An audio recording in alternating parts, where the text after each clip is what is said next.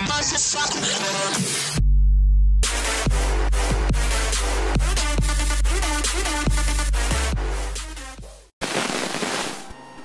guys, what is up? This is AJ170, and today I'm going to be showing you guys the new best emulator. This is better than every single other emulator there is because it is all of them in one, and it does not require a computer and it does not require a jailbreak.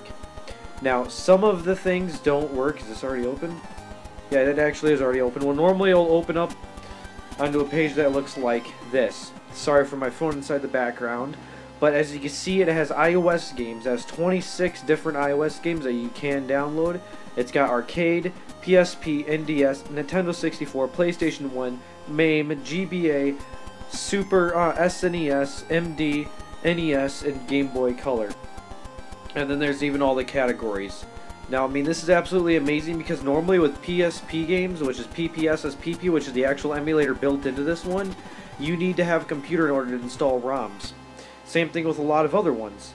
Now, if you guys are saying, oh, it's lagging, or oh, I get a black screen, I'm thinking that's, uh, like, the lagging is because your device can't support it. Like, my iPod Touch can't support NDS games because it just lags. You need a really high running device to run some of the emulators. But, I mean, another great thing is, is you don't have to go and search up random ROMs. I mean, you could easily just go, hit a category, and you could even start exploring. Another great thing is they even have hacked ROMs, which is also amazing. You see, it just crashed. It crashes a lot when I'm screen recording, I'm guessing because of the AirPlay. So let's go ahead and try this again.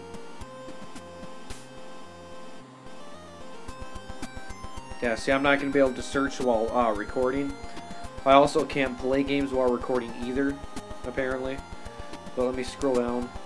Here's my favorite hack ROM. There's actually two of them.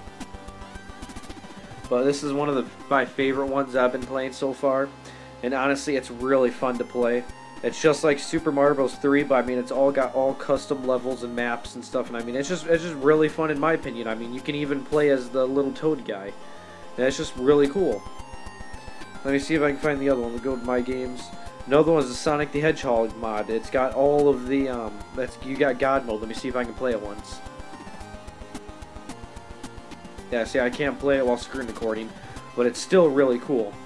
This is better than GBA for iOS because it is GBA for iOS. If you download a GBA game, it gives you GBA for iOS. And if you guys are like, oh, I want cheat codes, or oh, or no, I want to be able to go and um, change the skin, you can also change the skin in this too.